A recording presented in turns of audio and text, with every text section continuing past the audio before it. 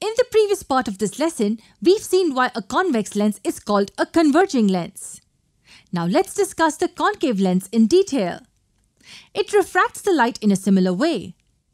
A ray of light after entering the concave lens bends towards the normal and when it again enters air, it bends away from the normal.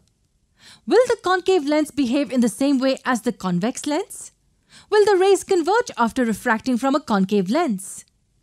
If the rays from a point object are incident on a concave lens, then after refraction, they do not converge at a single point. These refracted rays diverge. It means they go away from each other. But wait, since they do not intersect at a common point, does that mean no image is formed? Well, the image is formed. If we were to extend all these rays backward, they all meet at this point. The virtual image is formed at this point. So this is a pattern by which concave lens refracts rays of light. It diverges all the light coming from a point. Hence, it's called a diverging lens. Now let's look at both the lenses side by side. So the convex lens converges all the light rays from a point object and the concave lens diverges all the light rays from a point object. But usually our objects are big and not just a single point.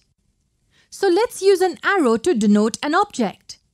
We can take points on the arrow and find out the image for each point. Finally, we join all the image points together to get the complete image. This is a real and inverted image.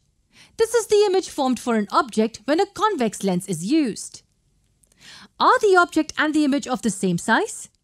What will happen if I change the position of the object? Will the position of the image change? Will the size of the image change? In order to know the answers to these questions, keep watching our future videos.